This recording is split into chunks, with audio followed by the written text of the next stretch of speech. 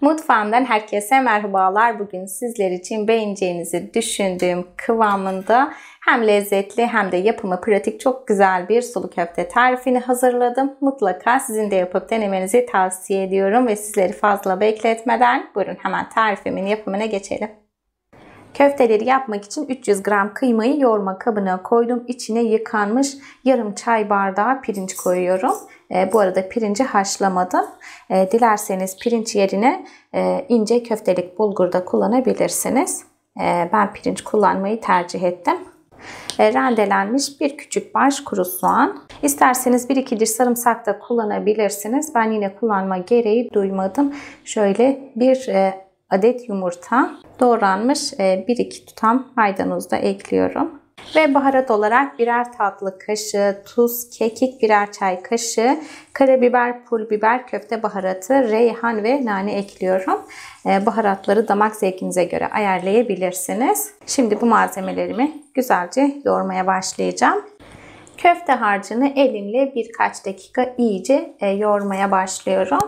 E, köftelerinizin dağılmaması için bu aşamada mutlaka iyice e, yoğurmanızı tavsiye ediyorum. Bu arada ben 300 gram kıyma kullandım ama dilerseniz kişi sayısına göre miktarı arttırabilirsiniz. Köfte harcını iyice yoğurdum. E, hemen yuvarlayıp köftelerime şekil vermeye başlayacağım. Ben cevizden biraz daha büyük olacak şekilde hazırlayacağım. E, dilerseniz daha küçük de hazırlayabilirsiniz köftelerinizi. Bu şekilde elimle iyice sıktıktan sonra yuvarlıyorum. E, farklı bir taban içine de e, bir yemek kaşığı un koydum. Hazırladığım köfteleri bu şekilde taban içerisine alıyorum. Ve kalan köfteleri de aynı şekilde hazırlamaya devam edeceğim. Ee, dediğim gibi köftelerinizin dağılmaması için yoğurma e, kısmı çok önemli. Mutlaka e, en az 4-5 dakika kadar iyice e, yoğurmanızı tavsiye ediyorum. Baktınız ki köfteleriniz e, yoğurmanıza rağmen yine dağılıyor. Ee, ondan sonra dilerseniz harcın içine e, yarım yemek kaşığı kadar un koyabilirsiniz. Ama iyice yoğurduktan sonra hiçbir şekilde dağılma falan olmuyor. Bu şekilde yuvarlarken e, dilerseniz benim gibi elinizi hafif suyla ıslatarak şekil verebilirsiniz. Köftelerimizin şeklini verdikten sonra iyice sallayıp unu bulanmasını sağlayalım. Köfteler hazır. Bu şekilde dinlenmeye bırakıp hemen çorbanın yapımına geçeceğim. Yemeğimi yapmak için uygun bir tencereye ocağa koydum. İçine 3-4 yemek kaşığı kadar sıvı yağ koyuyorum.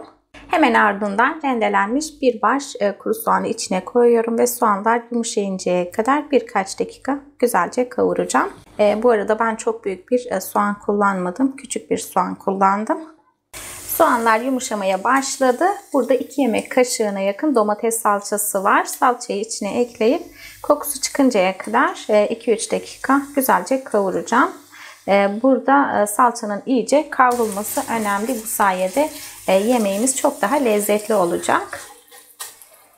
Salçanın kokusu çıkmaya başladı. Hemen sıcak su ilave edeceğim. Ben suyu göz kararı koyacağım. Sizler istediğiniz kadarını koyabilirsiniz.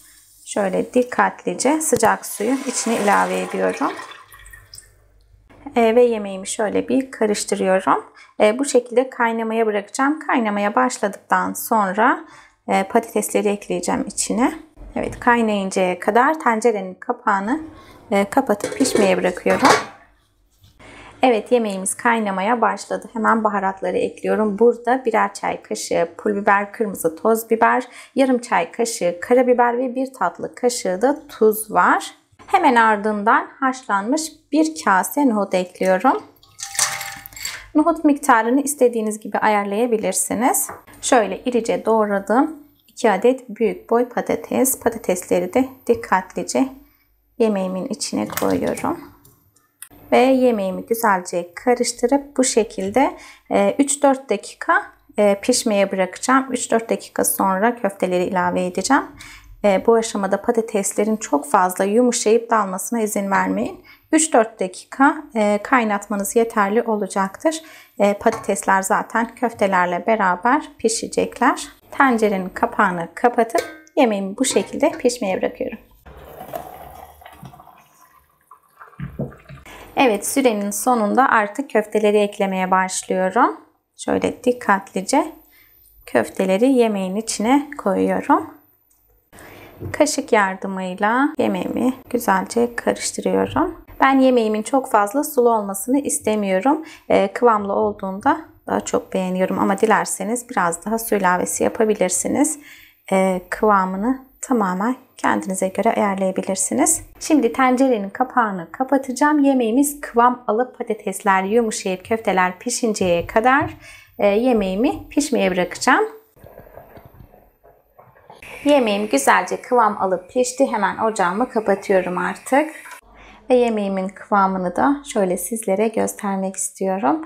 Ee, daha sonra servis ederek daha da yakından sizlere göstereceğim. Bakın yemeğimiz çok fazla sulu değil. Ben çok fazla sulu sevmiyorum. Bu şekilde kıvamlı olduğu zaman daha güzel oluyor. Evet kısa süre içinde hazırlayabileceğiniz e, yapımı kolay, çok da lezzetli bir sulu köfte tarifini paylaştım bugün sizlerle. E, umarım sizler de dener ve beğenirsiniz. Ve bugünkü tarifimin de sonuna geldim. Kanalıma ücretsiz abone olup yeni tariflerden haberdar olmak için bildirim zilini açmayı ve tariflerimi beğeniyorsanız beğeni butonuna basmayı unutmayın lütfen. Başka tariflerde görüşmek üzere. Hoşçakalın, selametle kalın.